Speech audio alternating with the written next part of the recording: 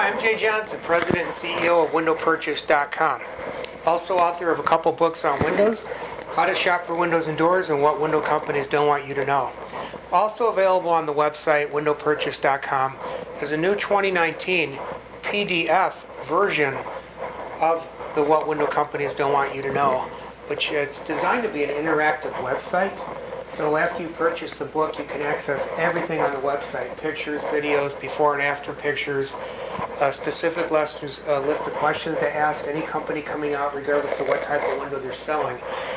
And speaking of windows, the topic of the day is lead times.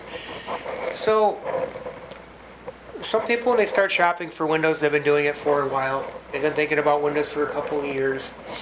And then you go around, you start kicking tires at the showrooms or the home shows. Here's the thing. Let's say you're going to get three or four companies to come out to give you a quote.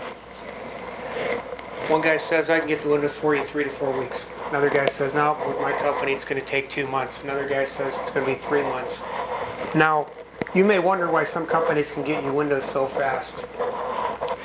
Well, there's nothing wrong with a fast window as long as it's good. The problem is what's more important to you, a good window or getting it fast?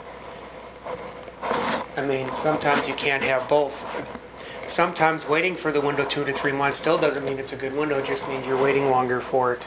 So when you're going to have companies come out, if lead time is that big of an issue to you, if you waited till the last minute, now that you've decided to get windows, all of a sudden you just got to have them now, then if I were you, when you call these companies up to make the appointment, and remember, you're not going to know how good or bad the window is because lead time is more important to you. I would tell the companies, look, I'm looking for a two to four week turnaround time. If you can't get me the windows in less than a month, I don't want to have you out. If that's the most important thing to you, you might as well get it out of the way up front. Because most companies' lead time is not under a month. So don't be surprised if somebody comes out and says 8 to 10 weeks or 10 to 12 weeks.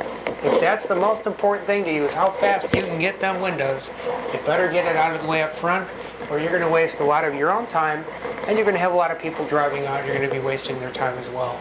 Anyway, that's the tip of the day. I'm Jay Johnson. Check out windowpurchase.com. Pick up the book. Thank you so much.